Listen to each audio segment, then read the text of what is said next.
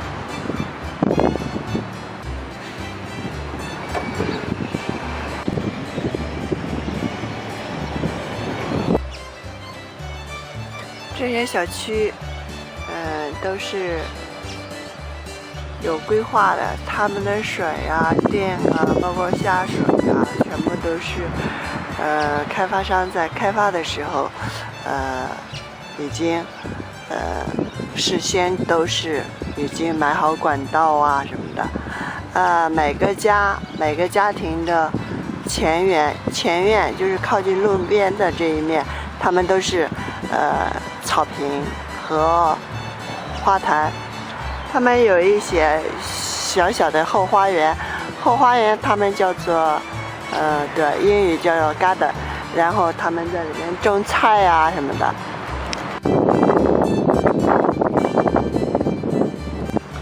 这是正在建的一个大型超市。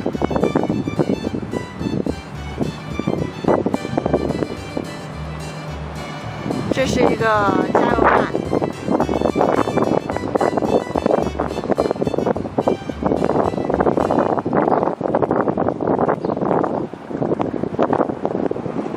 这儿是一个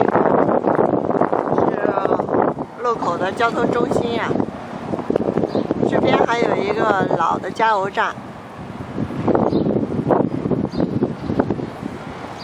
嗯、这处房子是卖房子的商店，隔壁还有一家。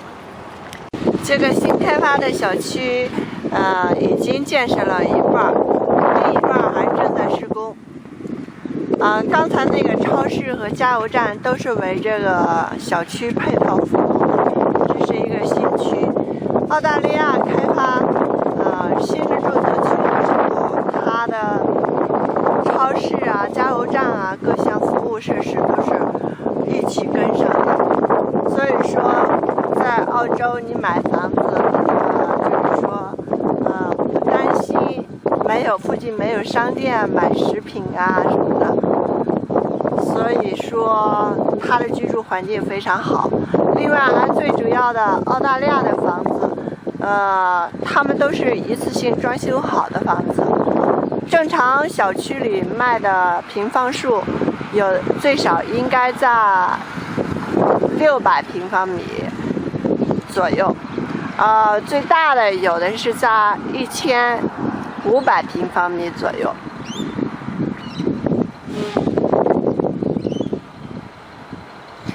他们的价格一般都是在三十万到四十万澳元，甚至五十万澳元之间。这就是关键，就是看你买的那个地块和房屋的大小有关系。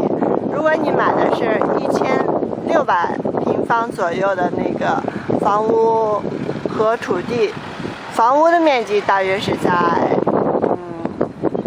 呃五百平方米左右，四百平方米左右吧。他他们标的就是房屋标出来卖的只是提供几项条件，一个是几个卧室，几个呃卫生间，几个车库，还有这块地的面积，总面积是多少平方米？